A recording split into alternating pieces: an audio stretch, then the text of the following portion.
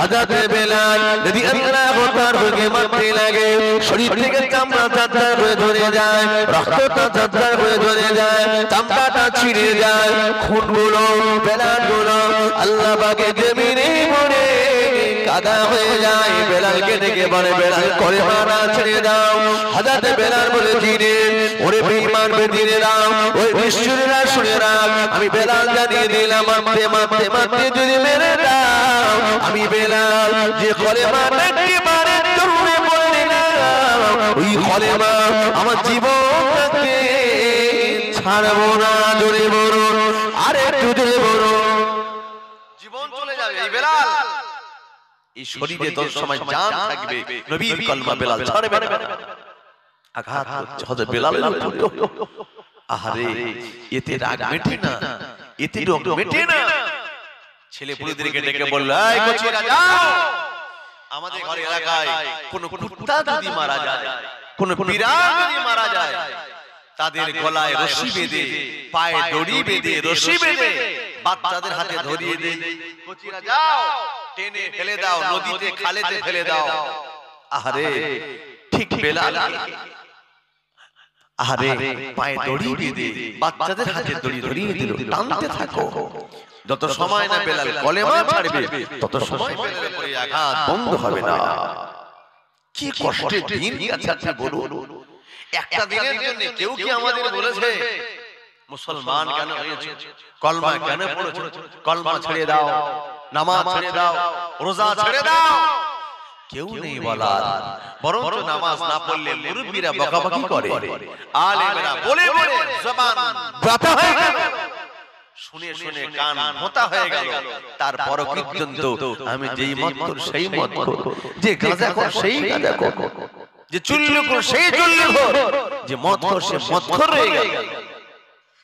এত টাকা খরচাটা সার্থক হবে যদি এলাকার দুটো বিড়ি খোর বিড়ি ছেড়ে দেয়। এই এই খরচাটা সার্থক হবে। এলাকার যদি মাতাল যদি মদ খাওয়াটা ছেড়ে দেয় কথা ঠিক না শুধু শোনাই হবে যদি কিছু না হয়। বেকার হয়ে গেল। হযরত বেলাল রাদিয়াল্লাহু কলমা পড়েছে পড়ে তারপর আঘাত চলছে। ও আমার জোরেরা জোরেরা ও আমার নবী বেগম মাতানিরা। ও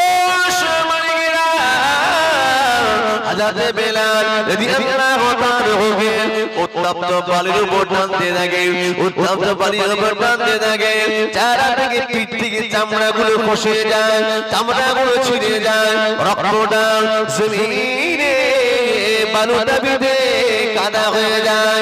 হাজাতে বেলাল কাঁদতে লাগে। হাজাতে বেলাল কাঁদতে লাগে। আল্লাহ আমি কলেমা পড়েছি বলে এই অত্যাচার জন্য মানলাম। এরা আমাকে যত মারা মারো, আমি কলেমা ছাড়তে রাজি নয় হযরত বেলালকে ডেকে ডেকে বলা হয় এখনও সমাজে ছেড়ে দাও, এখনও সমাজে কলেমাটা ছেড়ে দাও, নাইলে তুই বাঁচতে পারবে না। রাদিয়াল্লাহু আনহু বলেছিলেন ওরে তোরা শুনে নাও, আমাকে যত জোরে জোরে মারবি, আমি বেলাল, তত জোরে জোরে আমার নবী পাকের সাথে কলেমা পড়তে থাকব। জোরে বলুন, আর একটু জোরে বলুন। যত জোরে মারবে? আমি বেলাল তত জোরে জোরে নবীর সামনে দরুদ পড়ব। তত জোরে জোরে আমি কালমা শাহাদাত পড়ব। আরে বেলাল জামাকে মারছে। কিন্তু আমার যেন মনে হচ্ছে আমার যেন মনে হয় আমার নবীর সঙ্গে আমার দিদার হচ্ছে যদি বলুন সুবহানাল্লাহ। কারণ যারা আল্লাহর হয়ে যায় মান কানা লিল্লাহি কানা আল্লাহু লাহু আমরা আল্লাহ তাদেরই হয়ে যায়। বাবু যত বলছে তত কিন্তু বেলাল বলছে আমি ছাড়বো না। এবং কলেমা পড়ব দরুদ পড়ব তত জোরে জোরে। রাগে বড় পাথর নিয়ে বুকের উপর চাপিয়ে দিয়েছে। উত্তপ্ত বালু আবার তার উপর বুকে চাপিয়েছে। বড় একটা পাথর। অক্সিজেন নিতে কষ্ট হয়। মনে হয় জান বেরিয়ে যায়। প্রাণ পাখি উড়ে যায়। তারপরও কিন্তু হযরত বেলাল রাদিয়াল্লাহু কষ্ট হয় আহা আহা আহা আমার আল্লাহকে এক বলে স্বীকার করেছিলেন ওই অবস্থাতে। যদি বলি সুবহানাল্লাহ। আল্লাহু হযরত বেলাল রাদিয়াল্লাহু আনহু। কি কি নবীকে করলেন? ইসলাম মেরেছিলেন মারার মতো মেরেছিলেন তোমার থাপ্পা বাপ নবীর উম্মাত বলে দাবি করো মাহফিল হচ্ছে মাহফিলে বসতে রাজি নয়। আজান হয় মসজিদ যেতে চাও না। আসলে আমরা মামে মুসলমান শুধু আর করে বেড়াই ঠিক কি না নবীকে সবার আগে চিৎকার করে বলি আমি। নবীর জন্য জান একটা নয় দুটি হাত উঁচু করে বলে আমি আগে দেব। বাবা এই মহাব্বতটা মুখে অন্তরে নয়। নবীর ভালোবাসা তার নাম ইসলামকে যারা মেনেছে মানার মতো। নবীকে যারা মেনেছে মানার মতো। নামাজে খুঁজে পাওয়া যায় না মাহফিলে খুঁজে পাওয়া যায় না। দিনে খুঁজে পাওয়া যায় না। আমরাই বলি নবীর জন্য জান দেব বলতে হয় তাই বলি বিশ্বাস করো। যেদিন শুরু হবে অ্যাকশন আগে দেখবেন সব পালাচ্ছে। ঠিক না বেটি? কিন্তু যারা জান দিতে রাজি এরা যারা প্রকৃত মুমিন জান তারা দেওয়ার জন্য ওয়াদা যারা ওই মুমিনগুলো কখনো পিছাবে না। মুমিনগুলো জান দেবে এবং দেওয়ার জন্য প্রস্তুত জান দিয়েছে হাদিস কোরআন ইতিহাস তার প্রমাণ। বলুন সুবহানাল্লাহ। অতএব এই যুবকেরা জান দেবে। তোমার ওই জবানের কথা সত্য তখনই হবে ইসলামের জন্য জীবন দেবে। তোমার এই মুখের কথা তখনই প্রমাণ হবে। জান দেওয়ার আগে তুমি প্রস্তুতি নেবে। ঠিক কি? প্রস্তুতি কি? প্রস্তুতি হলো এখন থেকে নিজেকে নামাজি তৈরি করা। এখন থেকে নিজেকে নবীর সুন্নত তরিকা চলা। ঠিক না বেটি সময় আসে দেখা যাবে না গো। সময়ের আগে নিজেকে তৈরি করতে হবে তার নাম মুমিন। কথা ঠিক কি না।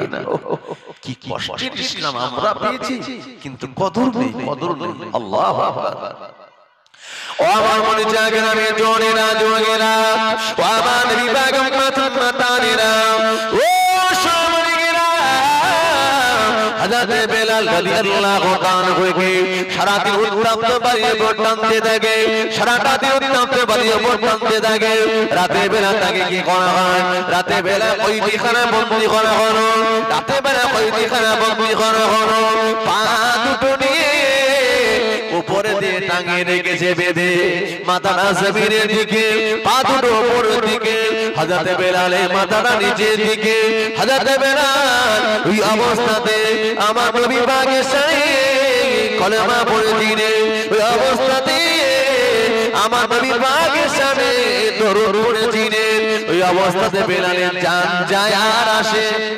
জানটা যেন চলে যায় প্রাণ পাখিটা যেন উড়ে যায় আর স্তব্ধ হয়ে যায় স্তব্ধ হয়ে যায় আস্তে আস্তে। ওই বেলাল জবানে আস্তে আস্তে বলে, পানি দাও, আমাকে একটু পানি দাও, আমাকে একটু পানি দাও পানি আমার ছাতি বেঁধে যায়। ওরে, আমাকে একটু পানি দাও, আমাকে একটু পানি দাও। ওই সময় বেলালকে বলেছিল ওরে বেলালে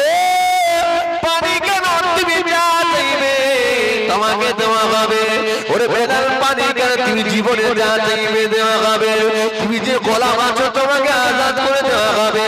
হাজাতে বেলাল বলেছিলেন, এই অবস্থাতে পানির তৃষ্ণায় যদি আমার ছাতি পেরে যদি মারা যায়, আমি বেলাল একটিবারে জন্যে এই অবস্থাতে আমি আমার ইমানটাকে হারাবো না। যদি বলা যায়।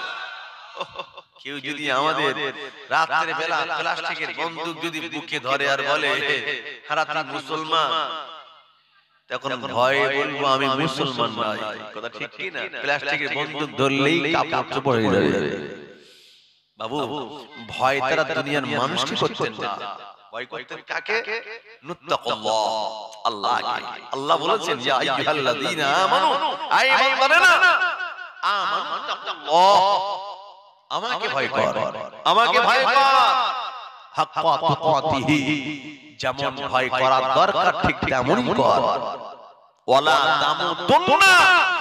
অত সময় পর্যন্ত তোরা মরিস না। মরার আশা করিস না। মরার জন্য প্রস্তুতি তত সময় পর্যন্ত নিস না। ইল্লা ওয়া আনতুম মুসলিমুন। যত সময় না পর্যন্ত তোরা কমপ্লিট মুসলমান না হবি।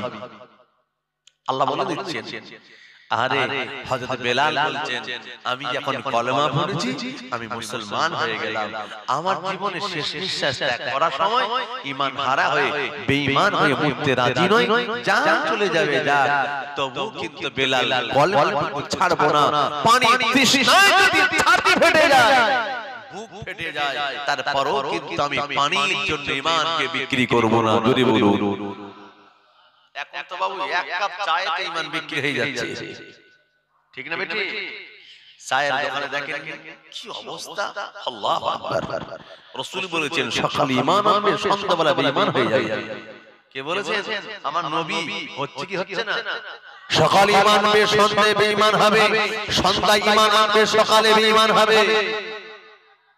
কিসের দ্বারাই এই জবানের দ্বারাই এত ফতোয়া ফারাইজ মাসলা মাসাইল চলে চায়ের দোকানে। ভাই সে বলে বোঝানো যায়। কি যারা নিশ্চিত রোজানা চায়ের দোকান যান তারা জানবে। আমি তো বলি যে সমস্ত ফতোয়া যে সমস্ত মশলাগুলো ক্রিয়ার করতে পারে না মুক্তিরা সাকসেসফুল করতে পারে না ফতোয়া দিতে পারে না চিন্তায় পড়ে যায়। কি ফতোয়া হবে? নানান কিতাব ঘাঁটতে থাকে ফতোয়ার কিতাব।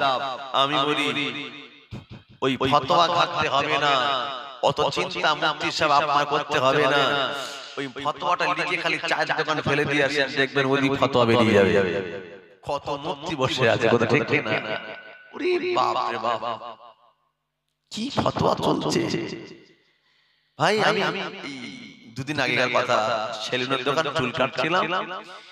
আমি যখন যাই আমাকে ঠিক কিছু না কিছু প্রশ্ন করে যদিও ছেলেটা অনেক ছোট। আমি খুশি হই। কারণ ইসলামের ব্যাপারে সে জানবার জন্য বিরাট আগ্রহ তার অনেক প্রশ্ন করে।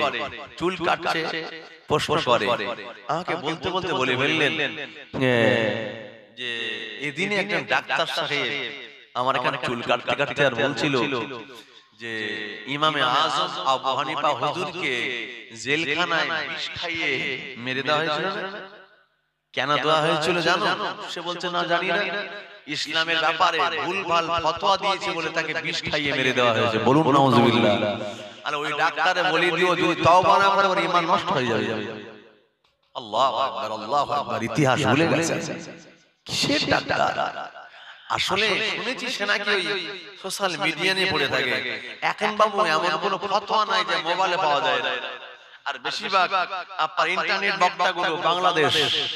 এরা এমন ফতোয়া পড়ায় দিচ্ছে যা মুফতির কাছে যাওয়া লাগে শুধু বললেই হয় তারা রেডি এক একটা চ্যানেল শুধু তৈরি করা হয়েছে ফতোয়া অধিকাংশ আহালে হাদিস বিশ্বাস করো ইমান নষ্ট করার পরিকল্পনা চলছে যারা ইমাম মানে না ইমাম তো মানে না এই জন্য ভুলভাল কথা বলে মানুষের মগজকে ধলাই করছে রাশি একদল যুবকেরা এই সমস্ত ফতোয়া ফারাজে পাগল হয়ে যায় আমার ভাইরা একবার কি ভাববেন না আপনি বলছেন এটাই ঠিক যদি এটাই ঠিক হতো আপনার আব্বা আপনার দাদু আপনার চোদ্দ পুরুষ সারা জীবন ইমামে আজম আবু হানিফা হুজুরকে মেনে এসেছে তারা কি ভুল কাজ করেছে যদি আপনার প্রসন্ন মনে হয় কোন ব্যাপারে যদি বুঝতে না পারো যাও তোমার এলাকায় গ্রামে যে মসজিদের ইমাম আছে জলসা মাহফিল যে বক্তাগুলো আছে প্রশ্ন করো জিজ্ঞাসা করো এই সমস্ত ব্যাপারগুলো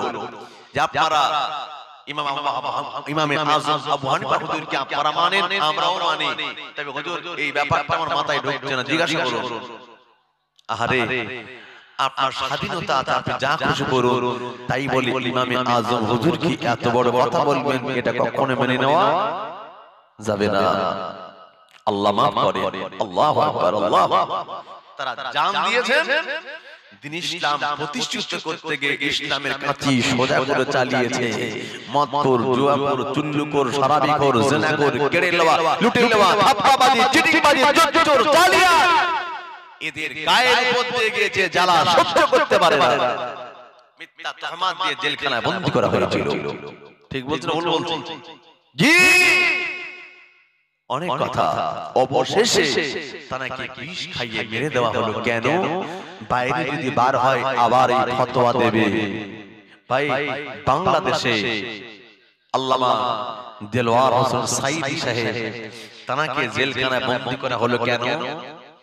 আজকে যিনি শরীয়তের কাছে সোজা করে চালায় যিনি আরে শরীয়তের নিখুঁত কথা কোরআনের দুটি নিখুঁত কথা মানুষকে শুনিয়েছেন তাফসীরের মুফাসসির যিনি। তাফসীর করে একেবারে নিখুঁত চুনে চুনে মানুষকে বোঝাচ্ছে শোনাচ্ছে জওয়ানেরা যুবকেরা ইসলামের পথে আহ্বান করছে। আর একদল রাজনৈতিক নেতারা তারা ভাবছে কি জানেন? আমাদের স্লোগান দেওয়ার লোক খুঁজে পাওয়া যাবে না। ফেলাক বাঁধার লোক পাওয়া যাবে না। আমাদের হয়ে বডিটা বাড়িয়ে দেবে সে লোক পাওয়া যাবে না। তাই এখনও এই মুহূর্তে সাইদি সাহেবকে যদি বন্দী না করতে পারে আগামী দিন আমাদের জন্য ভয়াবহ।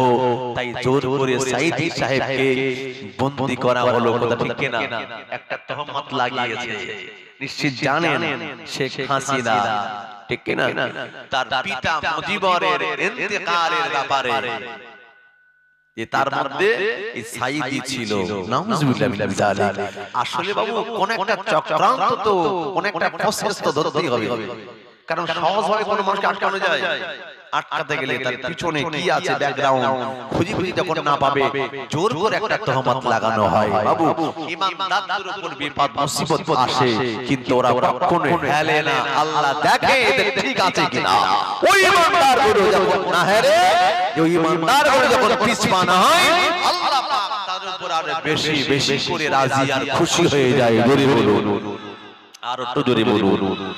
হযরতে বেলাল রাদিয়াল্লাহু আনহু তিনি পানির জন্য নিবর ইমানটাকে বিক্রি করে নাই। আজকাল এক কাপ চায়ে আজকাল আমাদের ঘরে অনেক মুরব্বিরাও ইমানকে বিক্রি করে দেয়। আরে। ওয়ামা জোরেরা জোরেরা ওয়ামা নবীরা গম্মাতুম মাতানিরা। ও সমরিগিরা আবার সকাল হয়ে হাজাতে বেলাল নবী আল্লাহ তার হোকে মারবার জন্য, অত্যাচার করবার জন্য, জুলুম করার জন্য বিশ কিছু মারা তারা গিয়ে গেল। দেখি বেলালে অবস্থা কি হয়? বেলালটা বেঁচে আছে না মারা গেছে? আস্তে আস্তে নিকটে গিয়ে দেখে, বেলালের জামান দিয়ে, হাজাতে বেলাল রাদিয়াল্লাহু জবান দিয়ে বেরিয়ে যায় আহাদ আহাদ আহাদ আমার আল্লাহ পাকের পাক এক দ্বিতীয় আমার আল্লাহ পাক এক আল্লাহ। জোরে বলুন, সুবহানাল্লাহ। এই বেলাল, তোমার যা পরিস্থিতি বাঁচবে, মারা যাবে। শেষ তোমার জানটুকু তুমি এভাবে দিয়ে দেবে। হযরত বেলাল, একেবারে কমজোর হয়ে গেলেন। ঝিমি ঝিমি আস্তে আস্তে হযরত বেলাল বলছেন শোনো! আমি বেলাল আমি বেলাল আগেও যা বলেছি এখনও তাই বলছি আমার জান চলে যাবে। আমি বেলাল কখনো আমার নবীকে ইসলামকে আমরা আল্লাহকে ভুলবো না। যদি বলুন সুবহানাল্লাহ। আমার এই বাগে গানে আমার চলে যায়। আমার নবী পাকের কাছে খবর পৌঁছে যায়। ইয়া রাসূলুল্লাহ হাবিবাল্লাহ ইয়া রাসূলুল্লাহ হাবিবাল্লাহ। আপনার সাহাবা বেলালের প্রতি অত্যাচার হয় যে বেলাল আপনার উপরে ইমানের কলমা পড়ে নিয়েছে ওই বেলালকে উমাইয়া কষ্ট দেয়, উমাইয়া পেটে টেনে ঘিচড়ে উত্তপ্ত বলে টানতে থাকে। কখনো কখনো বুকে বাবা চাপিয়ে দেয়, কখনো কখনো উমাইয়া কি করে জানে?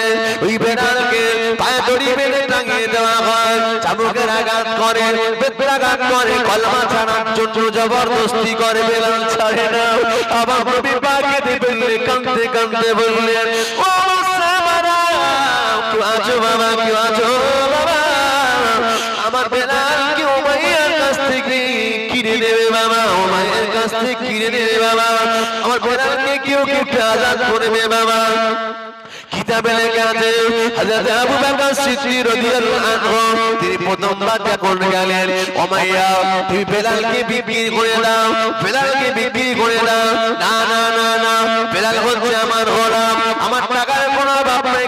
বিক্রি করব। ওরে ওরে বলল, ওরে উমাইয়া আমি জানি জানি টাকা না বাপ নাই। আমি বেলালকে উপযুক্ত টাকা দিয়ে কিনে নেব। পারলে তুমি কোন গোলাম কিনে দরকার হয় তুমি দ্বিতীয় গোলাম কিনে নাও। কিন্তু হযরত বেলালকে ছেড়ে দাও। এইভাবে অত্যাচার করো না। ওরে উমাইয়া রে মানুষ। হয়ে কীভাবে মানুষের প্রতি করো? তোমাকে দিলে গা লাগে না? তোমাকে মধ্যে একটু কষ্ট জাগে না। আবু দেয় আবু বাকার দেয় দেয়, ফিরিয়ে দেয়, দিল না। আবু বাকার টুকরে টুকরে কাঁদতে কাঁদতে ফিরে আসে। আমার বাবা আল্লাহ না আল্লাহ বাবা আমার বেলালকে তুমি হেফাজত করো, আল্লাহ। ও আমি রসুলকে নবী বলে মেনে নিয়েছে। তার অপরাধ আল্লাহ তার হয়ে গেল। আল্লাহ হেফাজত এমন সময় দেখতে পাওয়া যায়, আমার নবী থেকে আবু আবার যাও, আবার চলে যাও, মায়ের কাছে যাও। দ্বিতীয়বার সিদ্দিক একবার চলে গেলেন। ওরে রে, আমি আমার যে যে ফিরিয়ে দিও না। আমি আবার এসে ফিরিয়ে দিও না গো, ফিরিয়ে দিও না গো। বেলালকে ফিরিয়ে দাও বেলালকে আমাকে দিয়ে দাও? আমি টাকা তোমাকে দিচ্ছি বিনিময়ে। বারবার বারবার মারে ওমাইয়া একটি নিঃশ্বাস টেনে বললেন ওরে বেলাল তুই কলেমা দিয়ে ছাড়বি না? বলল, না না না না, আমি কলেমা আমি ছাড়বো না।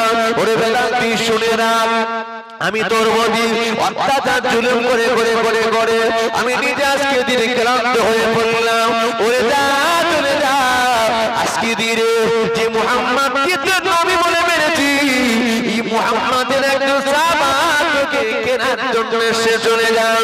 সিদ্দিক আকবর টাকা দিয়ে দিলেন হযরত বেলালকে টাকা তো দিয়ে দিলেন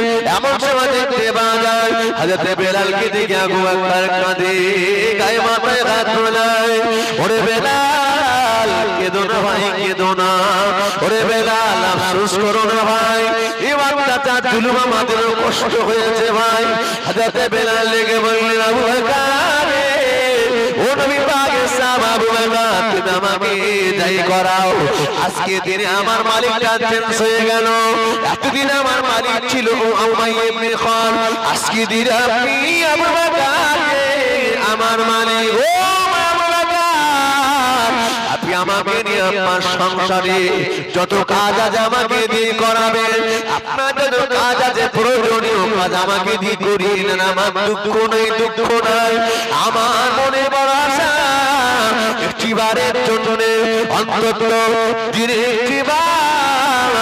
আমার দেখবার সুযোগ করে দিও। আরে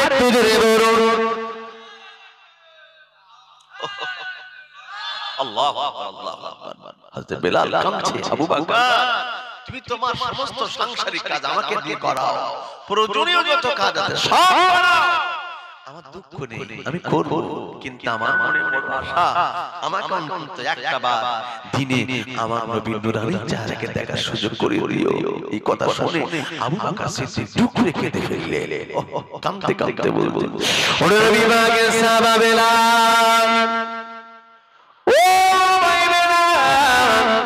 কি কথা তুমি আমাকে শোনালে ভাই। কি কথা তুমি আমাকে শোনালে ভাই। ও বিভাগের সাবাব কি কথা তুমি আমাকে শোনালে ভাই। না না না আমি তোমাকে দিয়ে খরিদ করে নিলাম। ও মায়ের কাছ থেকে তোমাকে যে কিনে নিলাম। আমার উদ্দেশ্য হলো তোমাকে নিয়ে আমি আমার নিজের কাজকর্ম করাবো না। আমার উদ্দেশ্য হলো তোমাকে নিয়ে আমি আমার প্রয়োজনীয় কাজ করাবো না। ওরে বেড়ালে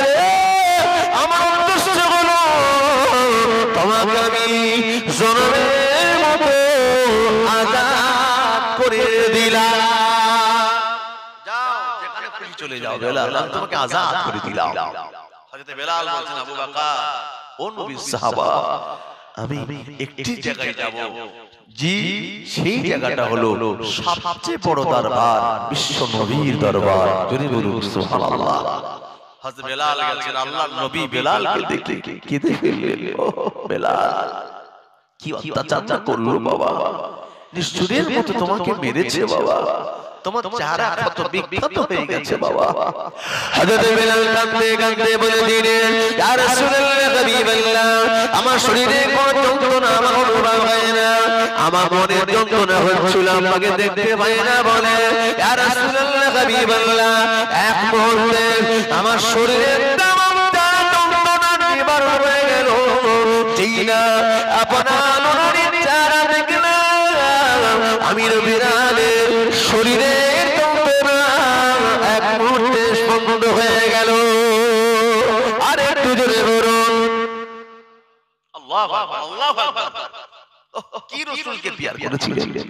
আজকে মুসলমানের ছেলেরা ইসলাম মানে, মানে। দুনিয়ার হতে আল্লাহর করতে পারব। দুনিয়ার মানুষকে ধোকা দিচ্ছে। দুনিয়ার মানুষকে বোকা বানাচ্ছি। মনে রাখবে আমরা আল্লাহকে বোকা বানাতে পারব না। যে আল্লাহ পাক হচ্ছে অন্তর্যামী ঠিক কি না তিনি তো দেখছেন অন্তর। কারণ কায়ামতের দিন আল্লাহ পাক। কি দেখে বিচার করবেন? চেহারা দেখে? না চেহারা দেখে নাই। ধন সম্পত্তি দেখে নাই। বংশ দেখে নয় আল্লাহ পাক কিয়ামতের দিন বিচার করবেন। অন্তঃকরণটা দেখে অন্তর দেখে। অতএব তোমার মহাব্বতটা যদি সত্যি তোমার অন্তরে থাকে তাহলে কখনো তুমি মুসলমানের ঘরে ছেলে হয়ে নির্লজ্জার মতো আজকে মাহফিল হচ্ছে তুমি বাইরে আড্ডা মারো নির্লজ্জার মতো! তুমি রাস্তায় দাঁড়িয়ে বেহায়ার মতো সময় নষ্ট করো ধূমপান করো নিজেও খাও মানুষকে কষ্ট দাও। অতএব আমার মুসলমান বাবা ভাইরা বহু কষ্ট পেয়েছি ইসলাম। বিশ্বাস করুন। তাদেরই অক্লান্ত কষ্টের কারণে তবে তো পেয়েছি আমার ইসলাম। একবার বুঝি না বোঝার চেষ্টাও করি না ভাই। ও আমার জনেরা জনেরা আমার নারীরা গঙ্গাতানেরা ও আসলামাইরা হযরত বেলাল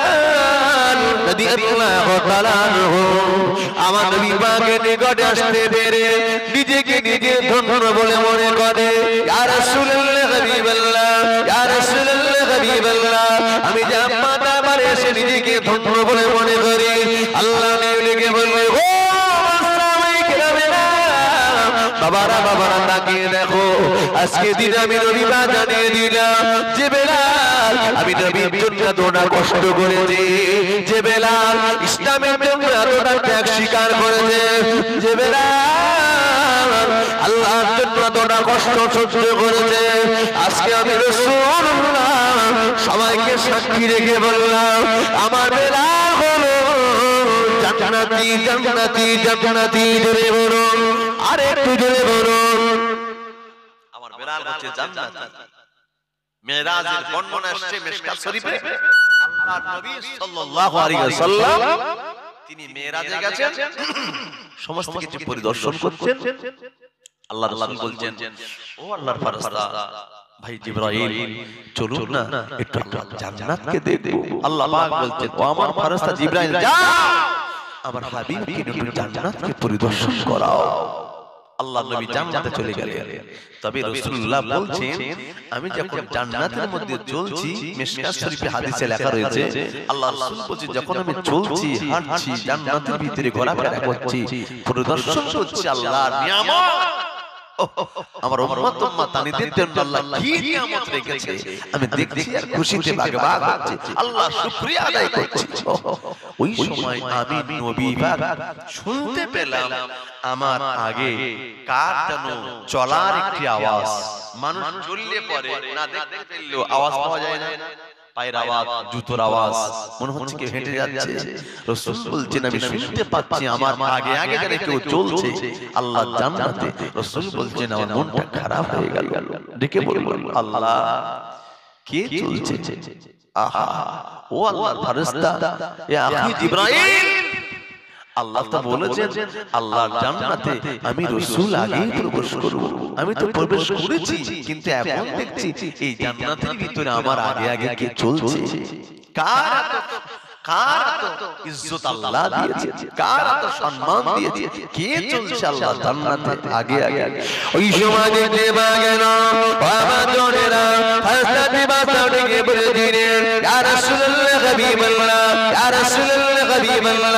না না না না কষ্ট নেবেন না হাদি উম্মাতুকা এতে হলো আপনার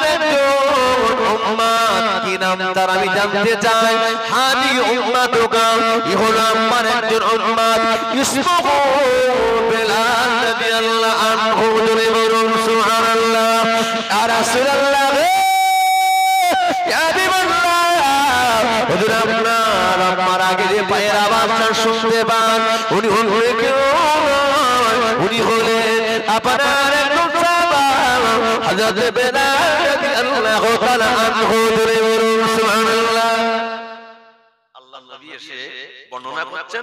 ডেকে ডেকে বলছেন এই বেলাল বাবা কি এমন ইবাদত তুমি করো? কি এমন ইবাদত করো? কেন? কেন?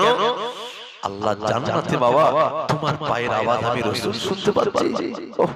হযরত বেলাল কেঁদে ফেললেন। চোখ দুটো ঝরঝর করে পানি ঝরে যায়। টপ টপ করে পানি ঝরে যায়। মাথাটা নত করে করজোর নিবেদন করে বলছে রাসূলুল্লাহ বেশি কিছু করতে পারি না হুজুর। আমি যখন মসজিদে প্রবেশ করি দখল আল মসজিদ এই দুই রাকাত নামাজ সুন্নতের নামাজ আমি বেলাল কখনো ছাড়ি না জুড়ে আর আল্লাহ এবং আল্লাহ রসুলকে আমি বেলাল জান অপেক্ষা পিয়ার করেছি। যদি বলুন সুবহানাল্লাহ। আল্লাহ রসুল বলছে বাবা বেলাল তোমার এই মহাব্বতটা আমার আল্লাহ বড় পছন্দ করেছে।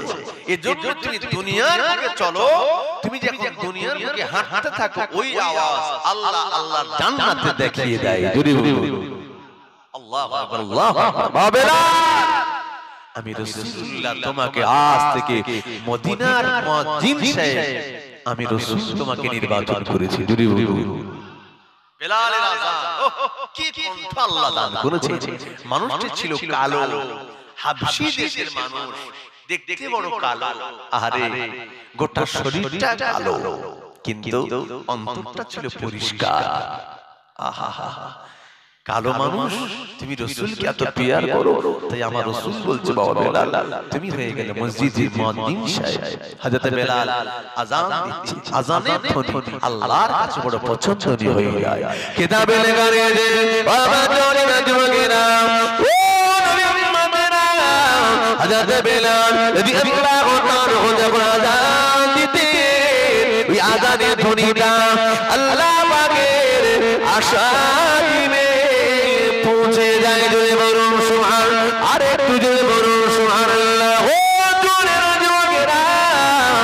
হযরত বেলালের আযান এত ভালো লাগে।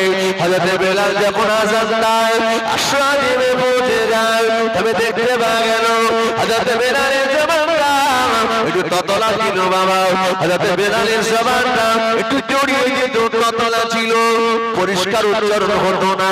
কয়েকজন সাহাবারা বসে বসে আলোচনা করে, এত মানুষ থাকতে আল্লাহ নবী জবানটা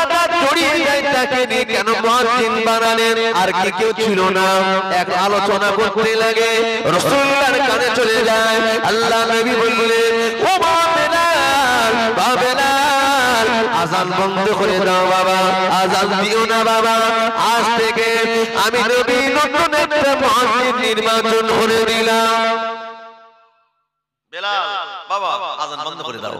কেন? বাবা বন্ধ করে দাও। রাসূল বলছি বাবা কষ্ট পেও না। আজানটা বন্ধ করে দাও। আমি নতুন একটা মুয়াজ্জিন নির্বাচন করছি। বাবা এই মুয়াজ্জিনটা পছন্দ হয়েছে? যেহেতু ওই নতুন মুয়াজ্জিন আজান দিচ্ছে। কিতাবের শেষে ফজরের ওয়াক্ত বুঝতে পারে নাই। অনেক আগেই আজান দিয়ে বসে আছে। নামাজ হয়ে গেল। কিন্তু এখনও সকাল হচ্ছে না। কি ব্যাপার? আবার আজান দেয়। আল্লাহর আসমান থেকে ফেরেশতা হাজির। ফেরেশতা জিবরাইল সালাম ইয়া রাসূলুল্লাহ। হুজুর আজকে কি মদিনা মসজিদে আজান হয় না কেন গো ভাই? আল্লাহর ফেরেশতা হঠাৎ এই কথা।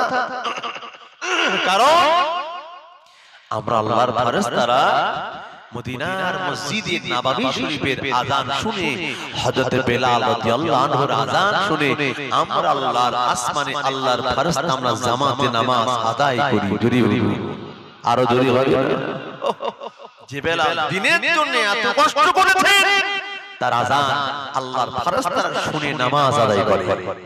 আজকে কি বেলাল আযান দেয় নাই? আহা। আল্লাহ রাসূল বলছেন না তো বাবা আমার বেলাল আযান তো দেয় নাই সাহাবারা লজ্জিত হয়ে গেলে শরমান্বিত হয়ে গেলেন। আজকে কেন আমরা বেলালকে চেঞ্জ করে ফেললাম? সাহাবারা বলছে রাসূলুল্লাহ হুজুর ভুল হয়ে গেছে। ওই বেলাল আমাদের জন্য যথেষ্ট ছিল। আপনি বেলালকে নির্বাচন করুন। আহা। ও আমার জোড়িনা জোড়িনা ফালসাতে বলে দিলে ইয়া রাসূলুল্লাহ হাবিবাল্লাহ ইয়া রাসূলুল্লাহ হাবিবাল্লাহ। হযরত বেলালের এত ভালো লাগে শুধু আমরা পছন্দ করি না। হাজরত বেলালের খুশি হয়ে গেছে। আল্লাহ পাকে জানিয়ে দিলেন আল্লাহ পাক আমাকে জানিয়ে দিলেন।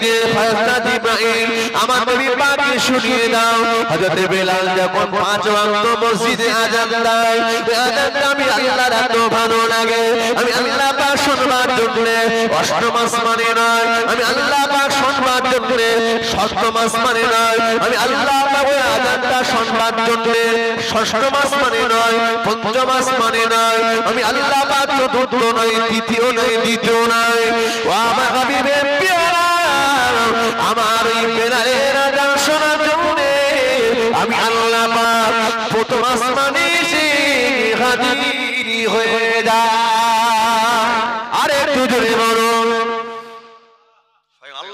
প্রথম আসমানে হাজির হয়ে যায় বেলালে আযান শোনার জন্য। সেই বেলালকে আপনি চেঞ্জ করে দিয়েছেন।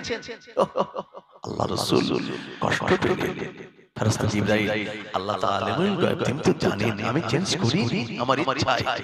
একজন সাহাবারা বলছিলেন, হযরত বেলালের জবান একটু জড়িয়ে যায় আলদিবটা একটু ছোট। আর তো অনেক সাহাবা আছে। যাদের জবানটা ভালো রাসূল তাদের রাখতে পারলেন না? যদি আমার সম্মুখে বলেনি কয়েকদিন একটু কানা ভাষা করছিল। আমি রাসূলুল্লাহর কানে এসেছি আমি চেঞ্জ করে দিলাম। না হুজুর আপনি বেলালকে যত সময় না আজান দিতে বলবেন আজকে ফজরের ওয়াক্ত সকাল হবে না। দূরে আর একটু জোরে হবে না।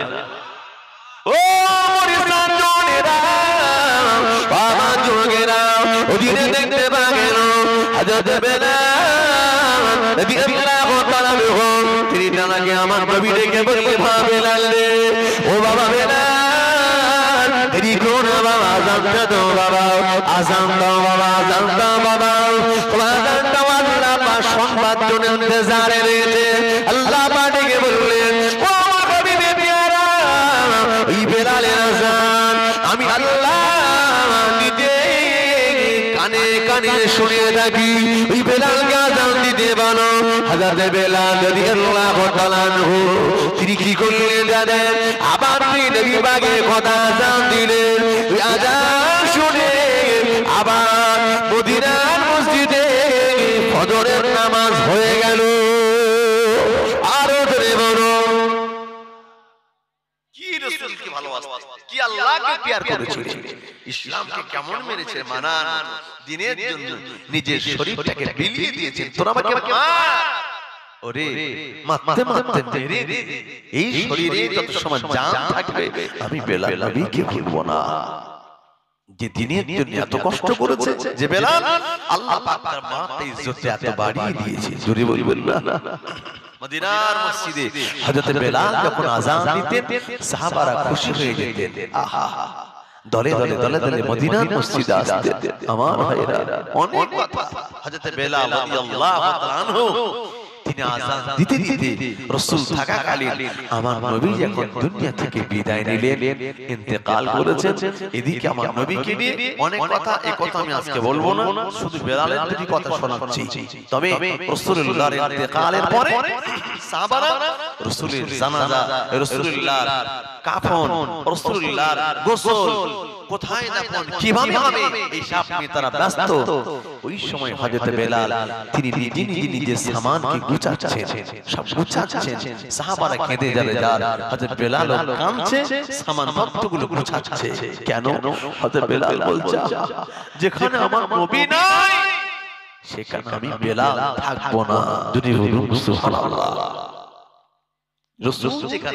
আমি বেলাল কি করে থাকব হযরত বেলাল কাঁদতে কাঁদতে মনে মনে বলে আল্লাহ পাক আল্লাহ তাআলা মদিনা মসজিদে মাজিদ সে মুআজ্জিদ ছিল আমি বেলাল ও মদিনা মসজিদে মাজিদ আমি বেলাল ইমাম বলে নামাজি নবী পাক আমার নবী যখন নাই আমি বেলাল কীভাবে আদান দেব আশহাদু আন্না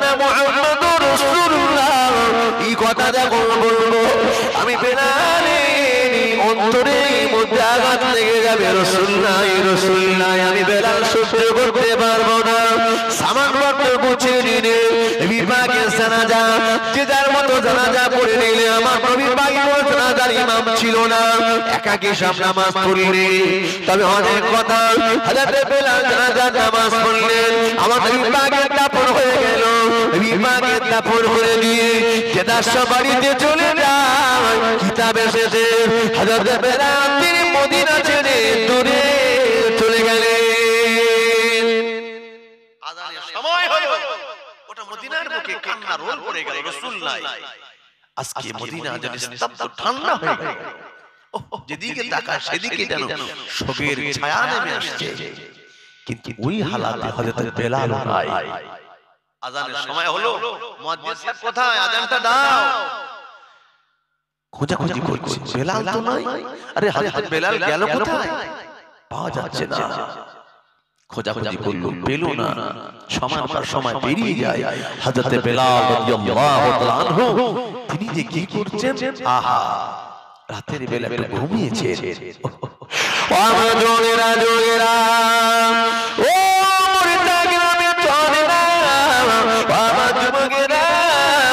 হযরত বেলাল রাদিয়াল্লাহু তাআলা তিনি রাতের বেলা একটু করে ঘুমিয়েছেন শুয়ে পড়েছেন। হঠাৎ দেখতে পাবেন ঘুমের ভিতরে সাইয়্যিদুল মুরসালিন, ইমামুল আম্বিয়া রাহমাতুল আলামিনের সঙ্গে দেখা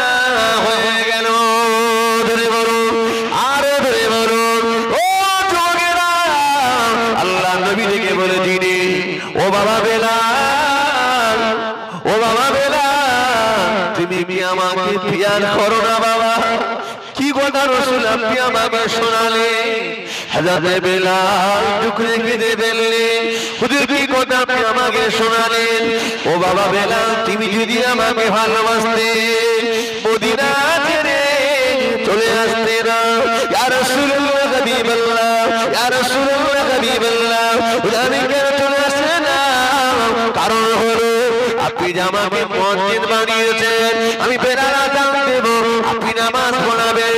আমি আজানের পরে আমি যখন একামত দেব? তার পিছনে দাঁড়িয়ে একামত দেব? আপনি যে আমার সম্পর্কে আপনাকে পাবো না। আমি বেড়ার সহ্য করতে পারব না। কলিজা ফেলে মারা যাব। আমি বেলাল মদিনা চলে চলে এসেছি বা বেলাল শুনে রাখো বাবা। বাবেলা শুয়ে রেখো বাবা। আমি নবী নবী আল্লাহ কবরে সিজদা রেখেছে। মনে যখন চাইবে আমি নবীর বাগে মাজারের পাশে দাঁড়িয়ে আমি নবীকে সালাম দেবে। আমি নবী সালামে জবাব আমি নবী তোমাকে দেব। চলে যাও চলে যাও। দেরি করো না। ওখানে তোমার জন্য মানুষ উন্মাদ হয়ে যাচ্ছে। একে আমি রসুল নাই ইমাম নাই আবার মজিন নাই। কাঁদছে খুব। বেলা তুমি যাও। চলে যাও। হযরত বেলাল রাদিয়াল্লাহু আনহু আবার তিনি সামান পথ গুছালেন আবার চলে গেলেন। জি হাজির হয়ে গেল সমস্ত মানুষ তাকিয়ে বলছে হযরত বেলাল কোথায় গিয়েছিলেন? ভাই মুয়াজ্জিন সাহেব! কোথায় ছিলেন ভাই? আপনাকে অনেক খুঁজেছি আমরা তো পাইনি। উনি বললেন অনেক কথা আমি রসুল নাই বলে চলে গেছিলাম। কিন্তু রসুল আমাকে স্বপ্নে জানিয়েছে বেলাল তুমি চলে এসো। আমার নবী কষ্ট পাবে আমি না তাই বেলাল আমি আবার চলে এসেছি। হযরত বেলালকে বলছে ভাই বেলাল একটা আজান দেবে। আজানের সময় তো হয়েছে। একটু শুনতে চাই। তোমার জবানে সেই আজান যখন তুমি আজানটা দেবে আমাদের মনের মধ্যে একটু শান্ত হবে কলিজাটা জুড়িয়ে যাবে ঠান্ডা হবে কেন? আমার নবী থাকতে তুমি আজান দিতে রসুল থাকতে তুমি আজান দিতে আমার আমার মন খুশি হয়ে যাবে। আমাদের অন্তর জড়িয়ে যাবে কলিজা ঠান্ডা হয়ে যাবে। তুমি যদি আজান যদি আজান দাও মনের মধ্যে আলাদা একটা তৃপ্তি এসে যাবে। মনে হচ্ছে রসুল আছে। কারণ রাসূল থাকাকালীন তুমি আজান দিয়েছে। একটু দাও না তোমার সেই আজান হতে বেলাল বলছে আমি পারব না। আমাকে তোমরা দাঁড় করিয়ে দিও না আমি পারব না। আমি সহ্য করতে পারব না। আমার নবীর নাম ঢুকে এসে যাবে। আমি বেলাল সহ্য করতে পারব না। ইমাম হাসান হোসেন রাদিয়াল্লাহু আনহুমা দৌড়ে এসেছে। ও নবীর সাহাবা। ও আমার জানে সাহাবা একটু আজান দাও না। আমার নানুজান নাই। একটু আজান দাও। তোমার ওই আজান। আমার আমার আজান। হযরত ফাতেমা একটু শুনতে চায়। তোমার আজান। আমরা হাসান হোসেন একটু শুনতে চাই আমার ফাতেমা আমার আম্মা জান নবীর উদ্দিনী খাতুনে জান্নাত আহলি জান্নাত হযরত ফাতেমা তিনি একটু শুনতে চায় আব্বা হারা হয়ে গিয়ে রাসূলকে হারিয়ে আজকে কয়েকদিন যাবত কেঁদে যারে যা মদিনা সাহাবা সাহাবিয়ারা বালক বালিকারা সবাই কাঁদছে একটু আজান দাও না আরে বারবার এই কথা বলবার পর হযরত বেলাল দেখছেন রাসূল বলেছেন কেউ যদি আমার হাসান হোসেনকে কষ্ট দেয় তারা যেন আমি রাসূলকে কষ্ট দিল কেউ হাসান হোসেনকে যদি খুশি করায় তারা যেন আমি রাসূলকে খুশি করাবো ধরে বলুন সুবহানাল্লাহ। হযরত বেলাল বলছেন হাসান হোসেনকে কষ্ট দেওয়া যাবে না। ও আমার জোরেরা জোরেরা ও আমার নবী বাবা মাতান মাতানিরা। ও সময়গিরা ও দিনে দেখতে গেল হযরত বেলাল রাদিয়াল্লাহু সময়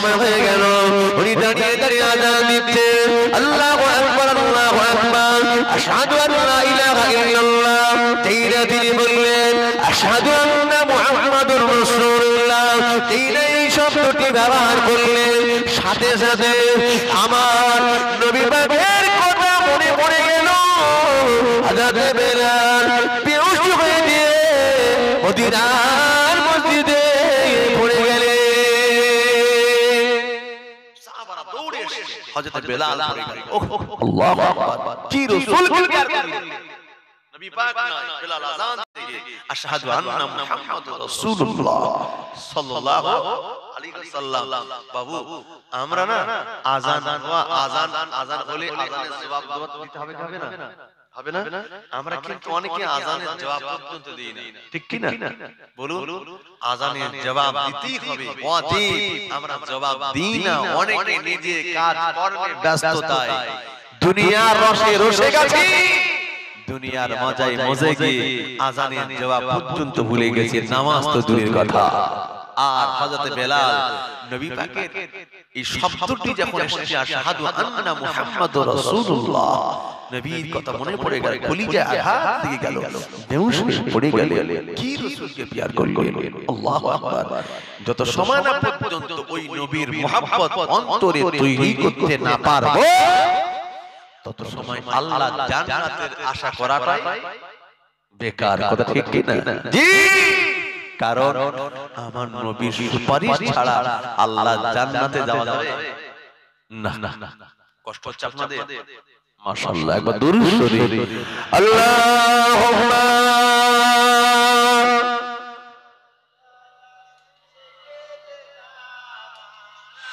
মাশাআল্লাহ এতগুলো মানুষ একটা মন খুলে পড়ে আল্লাহুম্মা সাল্লি আলা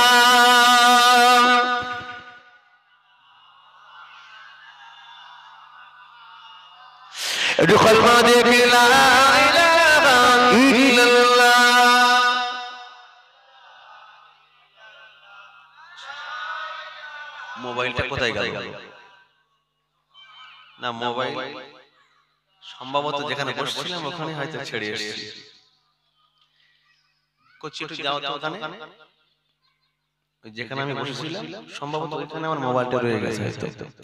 এই ঘরটাই একটু কথা একবার দরুদ শরীফ নবীর হবে না? ও পড়ে কি গো? হযরত বেলাল কি বলছেন? যত মারবে তত জোরে হবে দরুদ শরীফ আর কলেমা শরীফ। সেই নবীর আমরা সুচ্ছলে ভক্তি করে পারব না। একটু পড়ে না আল্লাহুম্মা সাল্লি আলা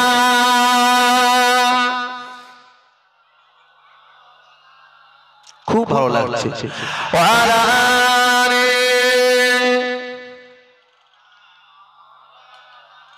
নবী নবী নবী নবী নবী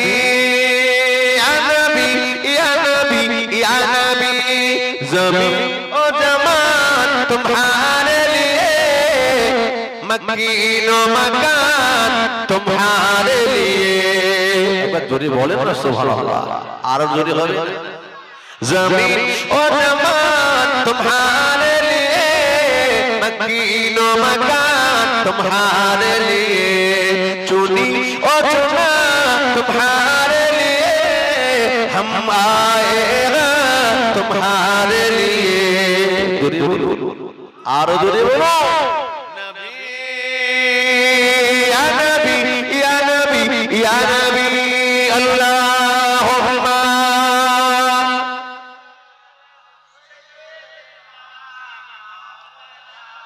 লাগছে নবীর সামনে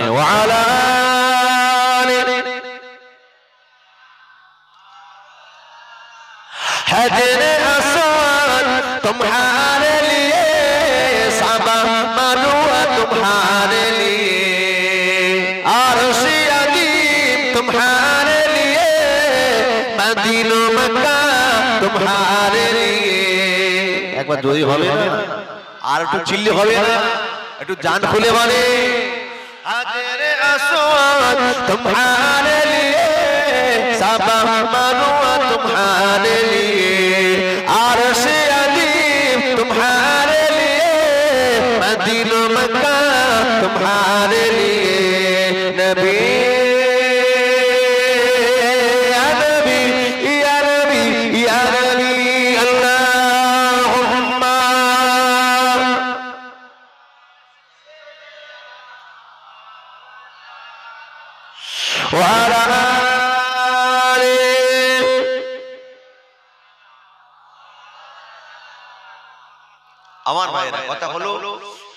জন্য তারা জীবনে জান দিতে রাজি ছিলেন, তারপরও কখনো রসুলকে বলে নাই। ঠিক কি না? বাবা জান দিতে রাজি আলাদা। আবার অনেকে জান দিয়েছেন, তাদেরকে প্রশ্ন করা হয়েছে, তোমার তোমার জায়গায় যদি তোমার রসুলকে নিয়ে কোরবানি করা হবে, তোমার রসুলকে নিয়ে কতল করা হবে, তোমার নবীকে শহীদ করা হবে এটাই যদি তুমি বলে দাও যে আমার জায়গায় আমি না শহীদ হয়ে আমার নবী শহীদ হলে ভালো হতো। এই কথা যদি বলো তাহলে তোমাকে ছেড়ে দেওয়া হবে। নবীর সাহাবাকে নজর বন্দি করে এই কথা বলা হয়েছিল। সেখানে দাঁড়িয়ে বলেছে ওরে! বেঈমানেরা শুনেরা?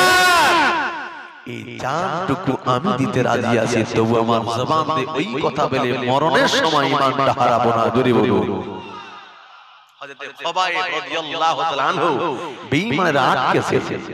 নজর বন্দি করেছে। আহা ঠিক মতো পানি দেয় না।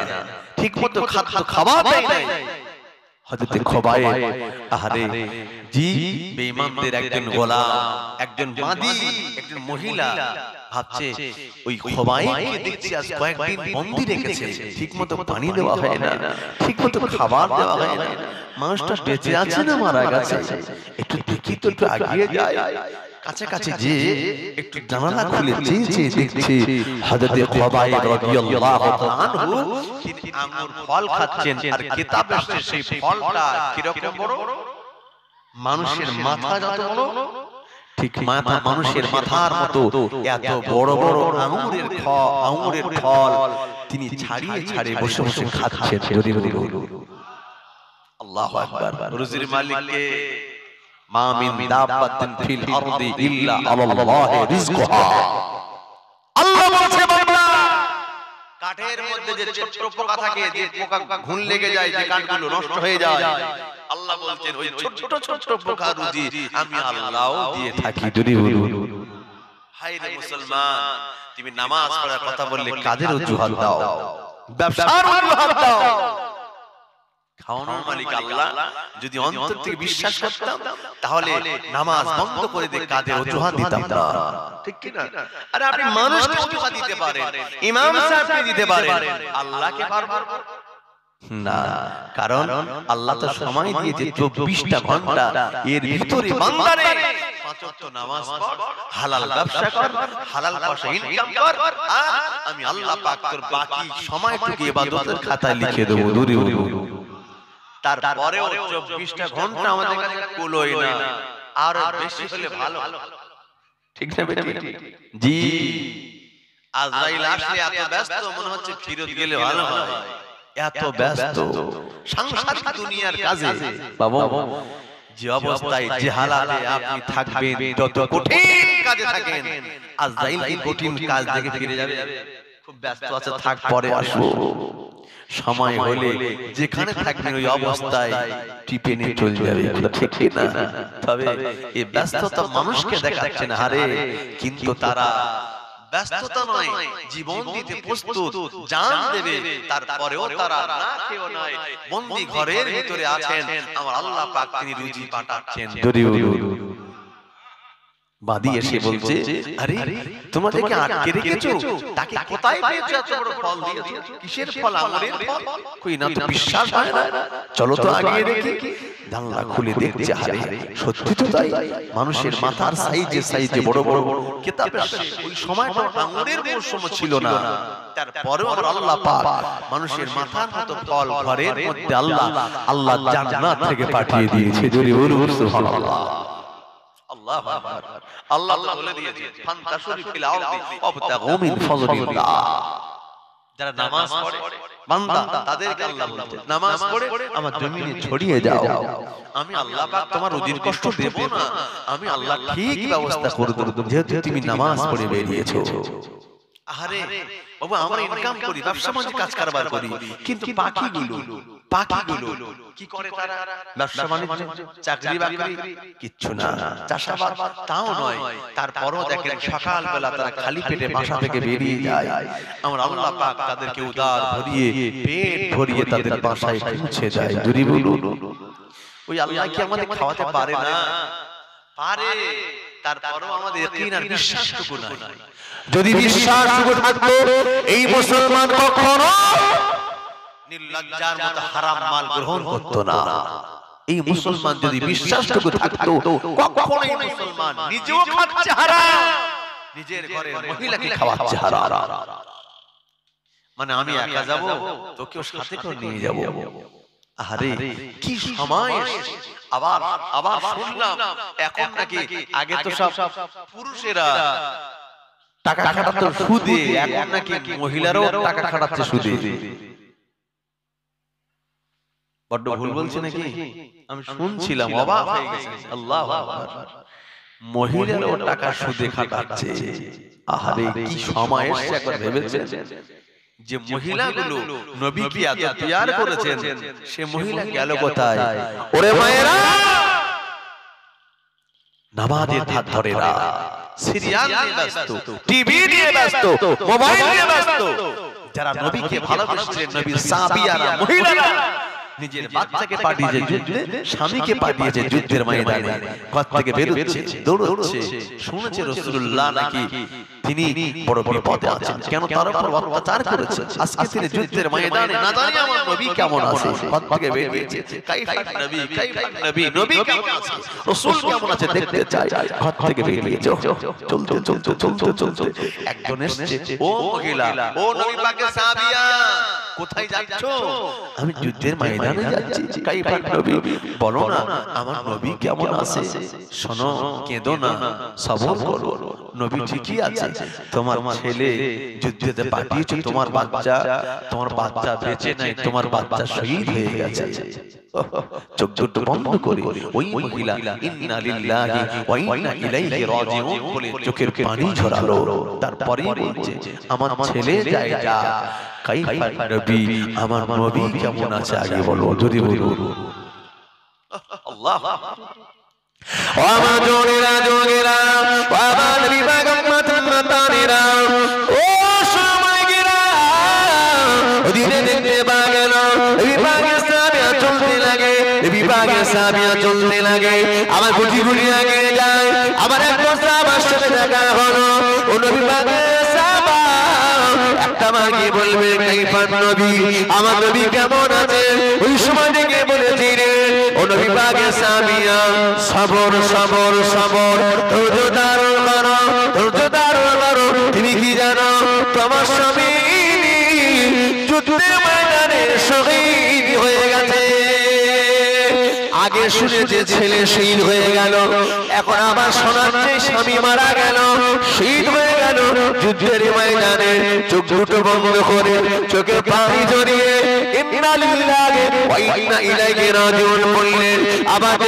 বললেন আমার হয়ে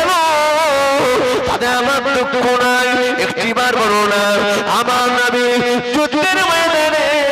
কেমন আছে?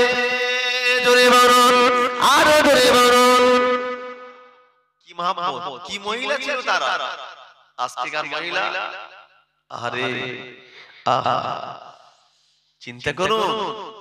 পর্দা তো করেই না নামাজ তো দূরের কথা। এখন এরকম মধ্যে সব প্রতিযোগিতা হচ্ছে প্রতিযোগিতা। কে কেমন শট পোশাক করতে পারে ঠিক কি না কে কতটা দেখিয়ে দিতে পারে? আল্লাহ আকবার। প্রভাব হয়ে যায়।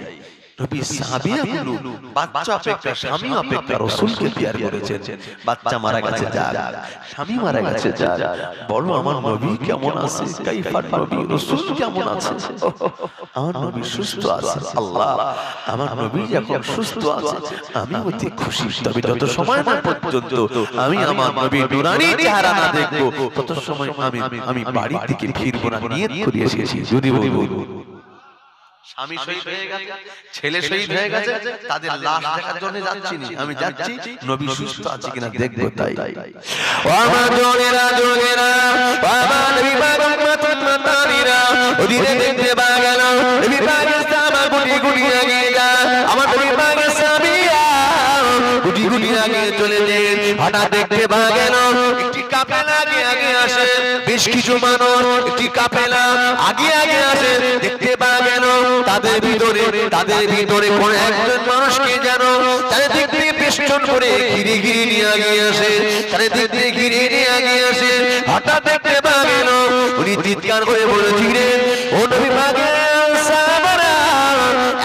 একটা আমাকে বলবেন আমার নবী কেমন আছে? আমার নবী কেমন আছে? এই কথা আমার নবী পাক মধ্যে স্থল থেকে শুনতে পেয়েছেন কে গো? নবী নবী করে কাঁদে, কোন মহিলা এসেছে? অবস্থা আমার, একটু সাইড হয়ে যাও বাবারা। কি আমাকে দেখতে এসেছে? তাকিয়ে দেখে সেই মহিলা, যার স্বামী শহীদ হয়ে গেল, যার বেটা শহীদ হয়ে গেল। ও অবস্থা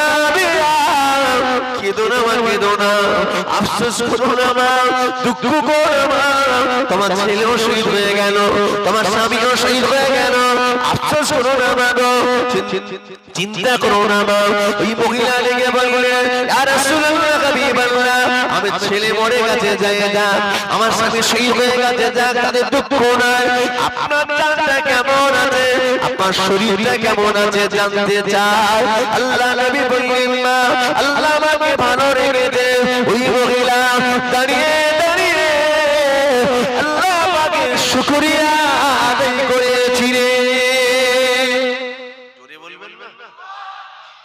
দাঁড়িয়ে দাঁড়িয়ে আল্লাহ শুকরিয়া আদায় আমার নবী সুস্থ আছে। আল্লাহ আমার নবী সুস্থ আছে। আমার ঠান্ডা হয়ে গেল। আহা, কি রসুলকে প্যার করলেন। ওদিকে খবায় নামকে আটকে রেখেছে? বার করা হয়েছে। খোবায় তোমাকে এবার শহীদ করা হবে। তোমাকে এবার কতল করা হবে। বলো! তোমার মনের শেষ ইচ্ছা কি আছে। শেষ আশঙ্কা কি আছে? বলো। হযরত খোবাই বললেন আমার মনের শেষ আকাঙ্ক্ষা ইচ্ছা হলো একটা বার একটা বার আমি না দুই রাকাত নামাজ একটু পড়তে চাই যদি বলুন। আহারে মুসলমানেরা আজান হচ্ছে আহারে কেউ বাধা দেয় না। মুয়াজ্জিন ডাকছে হাইয়া সলা। এসো আমাদের জন্য। আমরা যাই না। সময় নেই। এখন খুব ব্যস্ত। পরে দেখা যাবে। ওদিকে খোবাইনকে আটকে রেখেছে মেরে দেবে। শেষ ইচ্ছা কি? উনি বললেন একবার আমি বাপকে দেখতে চাই। শেষ ইচ্ছা একবার শেষবারের মতো মাকে দেখতে চাই। বলেনি একবার শেষবারের মতো। আমার অর্ধাঙ্গিনী আমার জীবন সঙ্গিনী বিবিকে দেখতে চাই। এই কথা একবার বলি বলিনি একবার রক্তের জিগার কলিজার টুকরা আমার বাচ্চাকে দেখতে চাই বলিনি একবার বলেছে আমি শুধু চাই একবার শেষবারের মতো জীবনে দুই রাকাত নামাজ আদায় করতে চাই। যদি বলুন সুবহানাল্লাহ। আসলে কি মজা আছে নামাজে? এই মজা তারা পেয়েছিলেন। আমরা তো নামাজে মজাটুকু পাইনি তো কি করে পড়ব নামাজ? ঠিক কি না নামাজে মজা পেতে হলে নামাজটা নামাজের মতো পড়তে হবে। বাবু মনটা উদাসীন হয়ে যায়। নামাজ পড়তে গেলে। জি হাদিস মনটা উদাসীন হবে না। নামাজে মজা পাওয়া যাবে।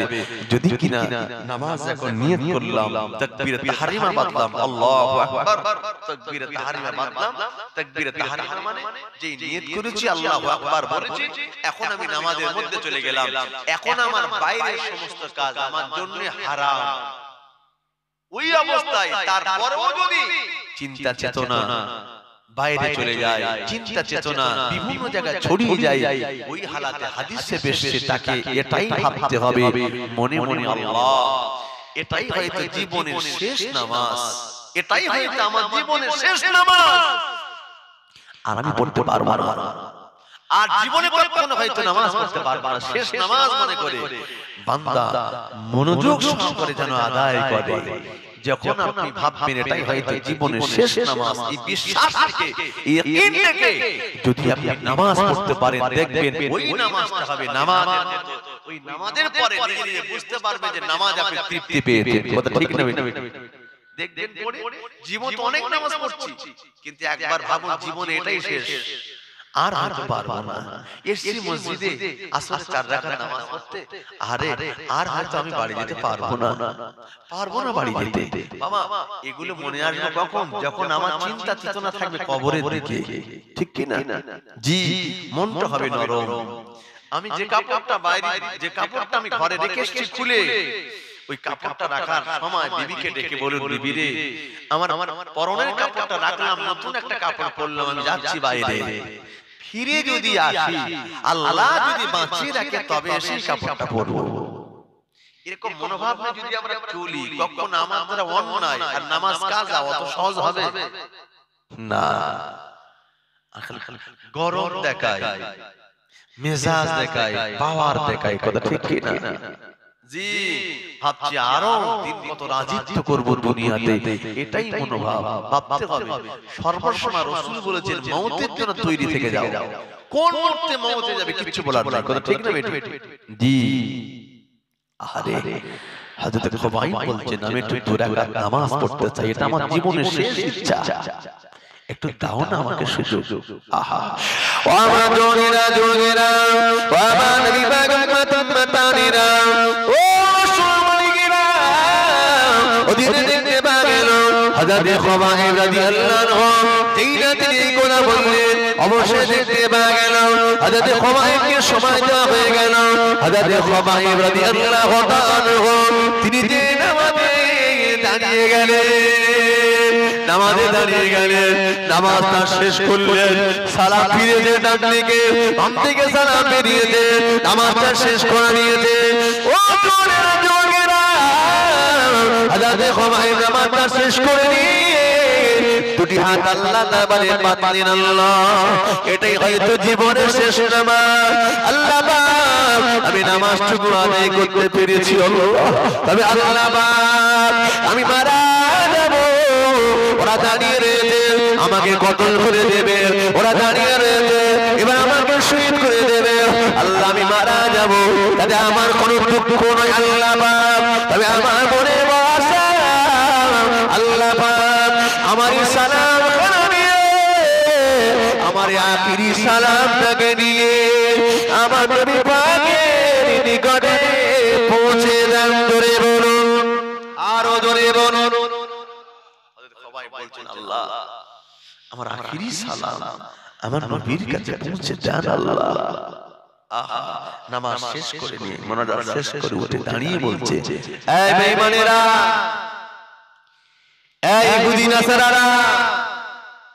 এটাই আমার জীবনের শেষ নামাজ। মনে করে আদায় করেছি আমি ভাবছিলাম একটু নামাজটা লম্বা করব। মনে বড় আশা ছিল। নামাজটা একটু লম্বা করব। মনে বড় আশা ছিল। সেজদাটা একটু লম্বা করে করব। সুবহান রাব্বিয়াল এই শব্দটি যেন আরও কয়েকবার বলতে ইচ্ছা করছে। আমার কত হাদিস এসেছে হয় সাতবার। না হয় পাঁচবার না হয় তিনবার। আমরা তিনবার পড়তেছি মনে হচ্ছে আরও কম হলে ভালো হতো। ঠিক কি না এত ব্যস্ত যদিও পড়ি অনেকে ব্যস্ততার সঙ্গে। এই নামাজ বিশ্বাস করুন কোনো কাজ হবে না। কিয়ামতের দিন আমাদের সর্বপ্রথম হিসাব নেওয়া হবে নামাজ সম্পর্কে। আর নামাজটা যদি নামাজের মতো না হয় কাজ হবে না। ওই নামাজে একটু সময় দেবে। একটু সময় দেবে একটু ধৈর্য ধরে পড়বে। একটু রুকু একটু সিজদা একটু ধৈর্য ধরে পড়ুন। দেখবেন মনের মধ্যে একটা তৃপ্তি পাবেন শান্তি পাবেন। আহা ওই নামাজ যদি একত্রে ছেড়ে যায় কলিজার মধ্যে কষ্ট হবে। জানে বড় কষ্ট হবে। নামাজ ছেড়ে গেছে। বিশ্বাস করুন ভাববেন কি একটা ক্ষতি হয়ে গেল। যদি আপনি নামাজের মতো নামাজি হতে পারেন। আমার ভাইরা হাদাতে আমার নবী সাহাবা বললেন হযরত খুবাইব রাদিয়াল্লাহু বললেন বেঈমানেরা আমি ইচ্ছা করলে নামাজটা দীর্ঘ সময় রুকু সিজদা করতে পারতাম লম্বা কেরাত দিতে পারতাম লম্বা সূরা পড়তে পারতাম কিন্তু আমি পড়ি না। কারণ তোমরা হয়তো এটাই ভাববে তোমরা হয়তো এটাই ভাববে খবায়ে নামাজের পরে তাকে কতল করা হবে শুলি চড়ানো হবে এই জন্য হয়তো তাড়াতাড়ি নামাজ শেষ করলেই মারার হবে শহীদ করা হবে এই জন্য নামাজ ছাড়তে চায় না নামাজকে লম্বা করে পড়ছে এই জন্য আমি খবায়ে তাড়াতাড়ি নামাজটা শেষ করে দিলাম আমি মৌতকে দেখে ভয় করি না করি আমি আমার আল্লাহকে জড়িয়ে বলব জড়িয়ে বলা যাবে না ইচ্ছা ছিল। শেষ নামাজ তো একটু লম্বা করে পড়তে। কিন্তু পারলাম না। কেন? এই কারণে তোমরা ভাববে মমতের ভয়তে তাড়াতাড়ি নয় দেরি করে করে পড়ছে কিন্তু না আমি খবাই মৌতকে ভয় করি না। আরে কুল্লু নাফসুন যায়কাতুল মাউত প্রত্যেকের একদিন মরতেই হবে। আজ হোক আর কাল হোক আমার মরণটা যদি দিনের জন্য হয়ে যায়। আমার মরণটা যদি ইসলামের জন্য যদি হয়ে যায় আমি খোবাইবের জীবনটা ধন্য হয়ে যাবে। দূরে বলুন সুবহানাল্লাহ। কি রাসূলকে পিয়ার করেছিলেন। ইসলামকে মেনেছিলেন কি মানার মতো কি মেনেছিলেন খোবাইব রাদিয়াল্লাহু তাআলা তিনি বলছেন তবে আমি আজকে দিনে নামাজ শেষ করে দিলাম। এইবার তোমরা আমাকে শেষ করে দেবে। তবে আমি খোবাইব আমি খোবাইব আমার আর একটা আশা আছে। একটা শেষ ইচ্ছা আছে। একটু পূরণ করবে। কি ইচ্ছা? আমার ইচ্ছাটা হলো আমাকে একটা ধারালা অস্ত্র আমাকে দেবে। কেন কিতাবে লেখা আছে শরীরের কিন্তু অবঞ্চিত লোম আছে। এই লোমগুলো একচল্লিশ দিনের ভিতরে কাটতে হবে। না কাটলে তার এবাদতগুলো আল্লাহ তারে কবুল হবে না। যেমন বগলের নাভির নিচের চুল। এগুলো হচ্ছে আপনার শরীর অবাঞ্ছিত। একচল্লিশ দিনের ভিতরে কেটে ফেলতে হবে। কম বেশি চল্লিশ দিনের ভিতরে কেটে ফেলতে হবে। না ফেললে পরে আপনি যত নামাজ পড়েন রোজা রাখেন এই নামাজ ইবাদত আল্লাহর কাছে গ্রহণযোগ্য নয়। জরুরি! তবে আমার অবাঞ্ছিত লোম আমি আজকে ফেলতে চাই। কাটতে চাই। আমাকে তো ধারণা কোনো অস্ত্র নেই। একটু দেবে আমাকে? একটা আড়াল জায়গা আর একটা ধারালো অস্ত্র আমাকে দাও। দেওয়া হলো। দিয়েছে বাস হাতে করে নিয়ে বসে আছে। ইহুদিদের একটা ছেলে খেলতে খেলতে খেলতে খেলতে খোবাবের কাছে চলে এসেছে। হযরত খোবায়ে তাকে নিয়ে কোলের উপর বসিয়ে নিলে একটু দূরে বলবেন না সুবহানাল্লাহ। চিন্তা করেছেন? যাদের পিতারা যাদের বাচ্চারা যাদের বংশধরেরা আমাকে মারবে। রেডি তাদের ঘরে ছেলে খেলতে খেলতে আমার কাছে এসেছে। তারপরেও কিন্তু খোবাই একবার রাগ করে ঘটিয়ে দেয় নাই ধাক্কা দেয় নাই। জি তার দিকে খারাপ নজরে তাকাই নাই। বাচ্চারা হচ্ছে বেগুনা। ইহুদির বাচ্চা হোক মুসলমানের বাচ্চা হোক হিন্দুর বাচ্চা হোক জৈনর বাচ্চা হোক বাচ্চা হলো বেগুনা। প্রত্যেকটা বাচ্চা মায়ের পেট থেকে দুনিয়াতে যখন আসে ইহুদি ঘরে আসো খ্রিস্টানে ঘরে আসো মুসলমানে আসো নাসারা ঘরে আসো রাসূল বলেছেন ইসলামিক স্বভাব নিয়ে জন্মগ্রহণ করে যদি বলুন। বাপ ইহুদি হলে ছেলে বড় হয়ে হয় ইহুদি। বাপ খ্রিস্টান হলে ছেলে বড় হয়ে হয় খ্রিস্টান। বাপ হিন্দু হলে ছেলে বড় হয়ে হয় হিন্দু। বাপ যদি মুসলমান হয় দেখে দেখে ছেলে শেখে মুসলমান। রাসূল বলে হাদিসে লেখা আছে। তবে বাচ্চারা নিষ্পাপ। বাচ্চাটাকে কোলে বসিয়ে নিয়েছে। হাগায় মাথা হাত তোলাচ্ছে। ইহুদিরা ভয় করছে। কেন? এই দেখো খোবাইবের হাতে অস্ত্র আর আমাদের একটা ছেলে না জানি শেষ সময় যদি একটা মরণ কামড় দিয়ে যায় এই সুযোগে দুর্বলতার একটা সুযোগ পেয়ে গেছে। যদি সে কি করে না জানি বাচ্চাটাকে যদি জবাই করে দেয়। ও তো জানে মরবো। তবে তার আগে সুযোগ যখন পেয়েছি বাচ্চাটাকে মেরে দেই ওরা কানা ঘোষা করছে। আমার জোরেরা জোরেরা বিবাগে সামা হদে খবাই রাদিয়াল্লাহু আনহু বলে দিনে এই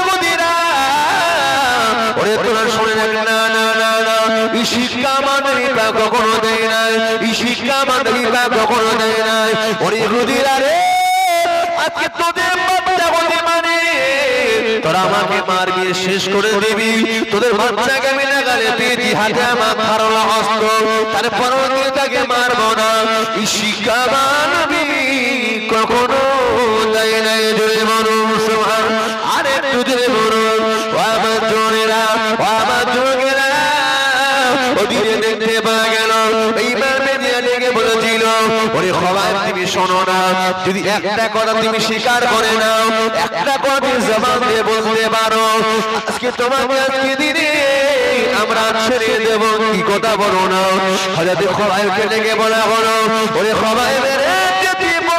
তোমার জায়গাতে তোমার নবীকে। আজকে তোমার জায়গাতে তোমাকে নয়। তোমার নবীকে যদি কতল করা যদি হতো, তোমার নবীকে যদি শহীদ করা হতো, ভালোই হতো। এই কথা যে জবানে বলতে পারো, আজকে তোমাকে ছেড়ে দেব।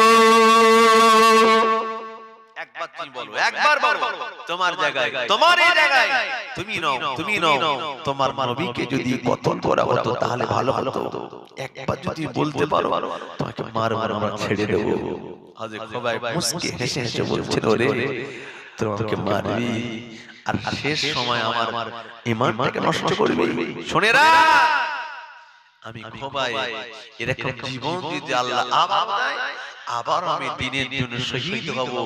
আমার নবীর শহীদের কথা দূরের কথা আমার নবীর পশম পরিমাণ ক্ষতি আমি হবাই খোবাই শক্তি থাকাকালীনে আমি কাউকে ক্ষতি করতে দেব না দূরে বলুন। আরও যদি বলুন। হযরত খোবাই রাদিয়াল্লাহু তাআলা আনহুকে বেঈমানেরা কি করেছে জানেন? হযরত খোবাইবকে শুলি চাপিয়ে দিয়েছে শুলি চড়িয়ে দিয়েছে। খোবাইবকে শহীদ করে দিল। আহা ফেরেশতা জিবরাইল সালাম। ওই সালামটাকে নিয়ে আমার নবী পাকের দরবারে পৌঁছে দিল ও আমার জোরেরা জোরেরা আমার নবী পাকের গনে পৌঁছে দিল ইয়া রাসূলুল্লাহ হাবিবাল্লাহ ইয়া রাসূলুল্লাহ হাবিবাল্লাহ আপনার সবাই দুনিয়া থেকে বিদায় নিয়ে চলে গেল। আখিরি দিয়ে আখিরি সালাম দিয়ে গেছে আপনাকে। সবার নবী পাকি করলে আখিরি সালামের জবাবটা দিলেন আল্লাহ। আমার সবাই দিনের জন্য শহীদ হয়ে গেল আল্লাহ। আল্লাহ আমার সবাইকে জান্নাতেরই উঁচু মাকামটাকে দান করে দেবেন ধরে বলো সরে আল্লাহুম্মা সাল্লি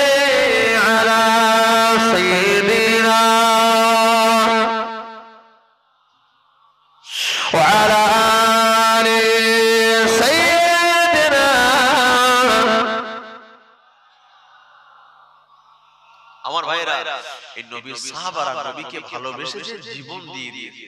ঠিক কি না বাবা তাদের থেকে আমাদের জীবনে কি দাম বেশি? না।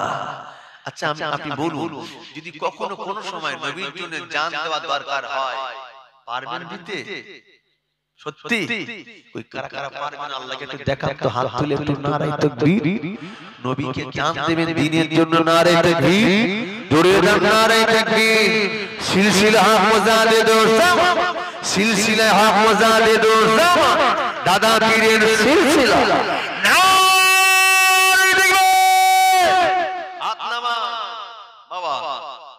এবার একটা প্রশ্ন করি এই জানের দাম বেশি না আমার কাছে মাল সম্পত্তি দিয়েছে ধন সম্পত্তি তার দাম। জি জি জি জানের দাম বেশি। ঠিক কি না যে মুসলমান নবীর জন্য জান দিতে পারে সেই মুসলমান নবীর জন্য মালও দিতে পারে। কথা ঠিক কি না আমরা যারা নবীর জন্য জান দেওয়ার প্রস্তুতি নিয়েছি নিশ্চয় আল্লাহ দেখছেন? কারণ আমাদের কাছে জানের দাম বেশি। মাল আল্লাহ বাঁচিয়ে রাখবে উপযোগ করতে পারব ইনশাআল্লাহ। ঠিক কি না তবে যারা জান দিতে পারে তারা মালও দিতে পারে। ঠিক কি না তবে কথা হলো আজকে আমি আপনাদের কাছে জান চাচ্ছি না। যারা জান দেবেন বলছেন একটু আল্লাহকে প্রমাণ করে দেখিয়ে দেন। আল্লাহ তোমার এই দিনটাকে ইসলামটাকে আল্লাহ সংরক্ষিত জন্য এরকম মাহফিলও দরকার আছে। এই মাহফিলটা আগামী বছর আবার হবে। এর জন্য কিছু অর্থ দরকার আছে।